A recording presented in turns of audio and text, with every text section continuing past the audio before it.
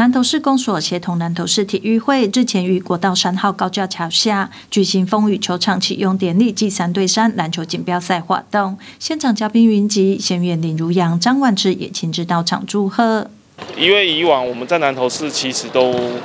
打篮球的话要看天气，那现在因为有了一个手做的一个篮球场之后，在一些下雨天或是天气比较不好的时候，或是大热天的时候，其实就有一个风雨球场可以使用。那对于推动篮球赛来讲，或者是鼓励民众来那个参与球赛的话，其实很大的一个鼓舞。去年南投市公所积极向交通部高速公路局争取投入一千两百万元新建打造两个全场的风雨球场，这对南投市的运动发展深具重大的意义。那这个篮球场的完成，对于市公所、对于南投市来讲是非常重要的。张市长啊，对。南投的体育的啊尊重啊重视哈啊，这是我们非常高兴。南投县体育会呢也会啊跟南投市体育会我们一起啊整个合作，不管是十三乡镇的体育会，还有公所啦，我们都会极力的配合在一起哈，将南投县的体育啊啊推向全国。先院林如样、张婉池感谢南投市公所的用心，新球场的启用将为南投市篮球爱好者带来极大的便利，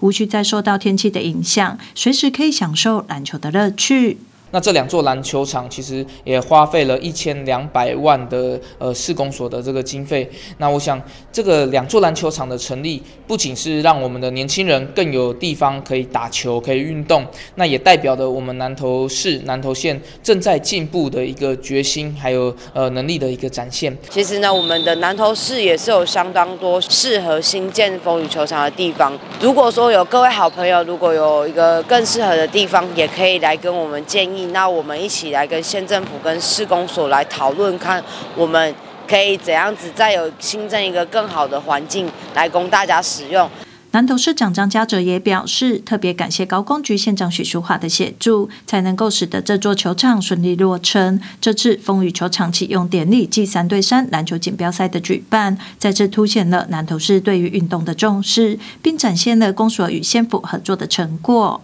记者邱平俊南投市采访报道。